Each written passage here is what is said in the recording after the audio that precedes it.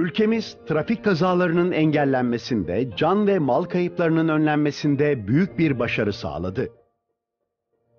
Başarımızın en büyük sırrı trafik kurallarına riayet eden sürücülerimizdir.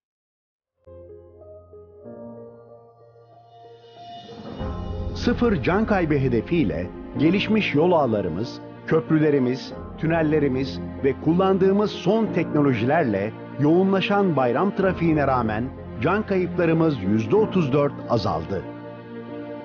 Trafik kurallarına uyarak can ve mal kayıplarını daha da azaltmamız mümkün. Yorgun, dalgın ve uykusuz araç kullanmayarak, gözünüzü yoldan ayırmayarak kendinizi ve sevdiklerinizi kazalardan koruyun. Yola çıkmadan önce aracınızın bakımını ihmal etmeyin.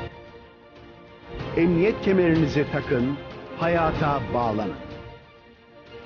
Aşırı hız yapmaktan kaçının.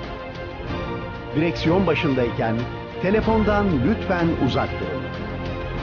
Sık sık mola verin ki yolculuğunuz güzelleşsin. Biz tek bir vatandaşımızın bile burnunun kanamasına razı değiliz.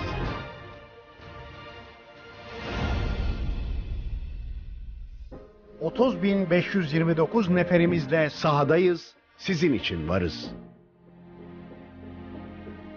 Gözünü yoldan ayırma.